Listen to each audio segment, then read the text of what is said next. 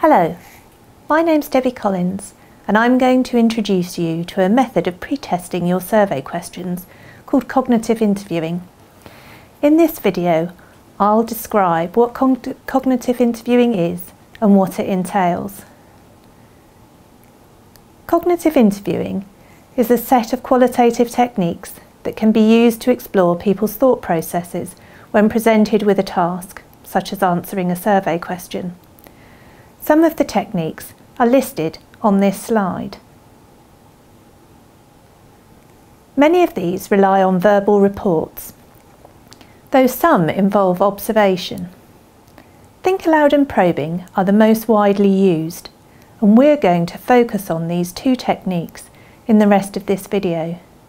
You can find out more about the other techniques by looking at the resources that go with the film. So how does cognitive interviewing work? This slide illustrates the process.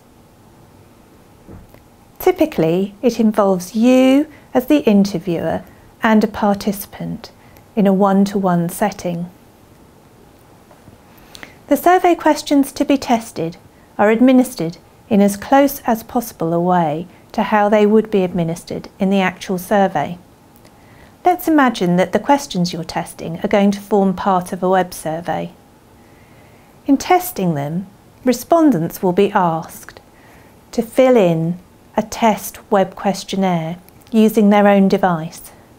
The respondent may be asked to think aloud as they attempt to answer the survey questions. The researcher may note the respondent's behaviour.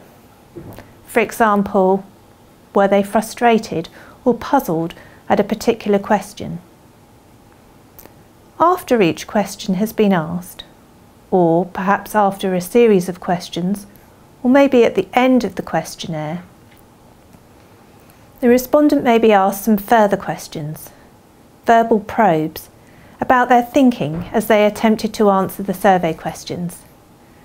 Let's look a bit more at think aloud and probing now. As the name suggests, the purpose of Think Aloud is to encourage respondents to articulate their thought processes spontaneously as they're presented with a survey question or task.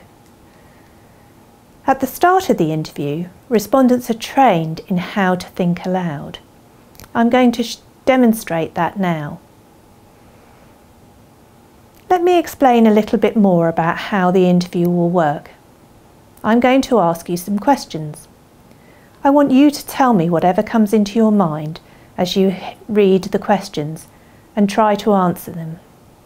This is called thinking aloud. We found it helps to have some practice doing this, so let me give you an example. Let's say I was asked, how many windows are there in my home? If I was to think aloud, I might do it like this. So, I come into my house and the front door actually has two windows either side of it but uh, they don't open so I'm not really sure that they're windows so I'm not going to count those.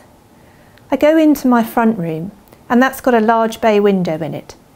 It's actually made up of several different windows but I'm just going to call that one window. So then we go into the bedroom and that's got another bay window in it and I'm and again so that's another set of windows. And then I go into the kitchen and there's a window in the kitchen. There's also the door which is made of glass but actually that's a door so I'm not going to count that. And then finally there's the bedroom uh, the bathroom and that's got a window in it too. So that's what uh, front room bedroom kitchen bathroom. So I've got four windows now let me ask you the same question. How many windows are there in your home? As you count the windows, tell me what you're thinking. During the interview, the researcher encourages the respondent to think aloud using non-directive open probing, such as those shown on this slide. Verbal probing, used to explore specific aspects of the survey question, such as the question and answer process. The probes can be scripted or spontaneous. Examples of scripted probes are shown on this slide. Spontaneous probes are used to follow up on respondents' answers to the scripted probes, encouraging further expansion or clarification. For example, can you tell me a bit more about that? Probing can take place concurrently or retrospectively. Concurrently happening immediately after the question has been asked, retrospectively can be after a series of questions have been answered or at the end of the questionnaire.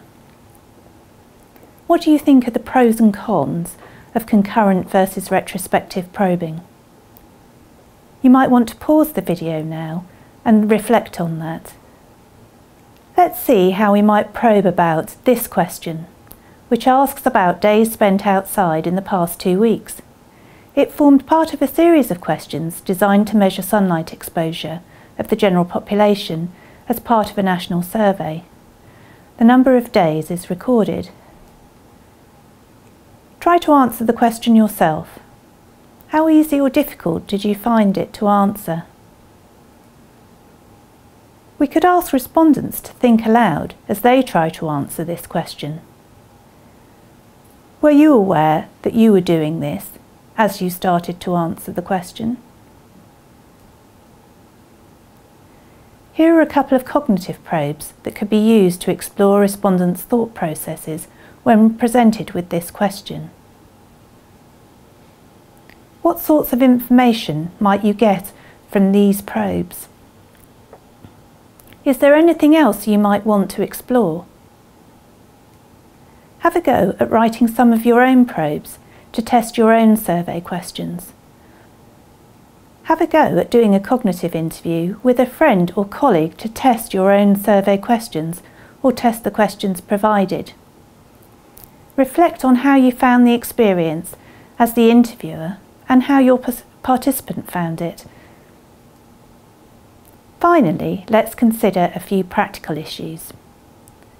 Cognitive interviews are typically audio or video recorded with participants' consent. You will need to think about how many questions you can test with any one respondent. You don't want your interview to be longer than about an hour, which means that you'll probably only be able to test around 15 to 20 survey questions, though of course that depends on the extent of probing that you may need to do and the complexity of the questions that you're testing. Also think about how many people you'll need to test your questions with.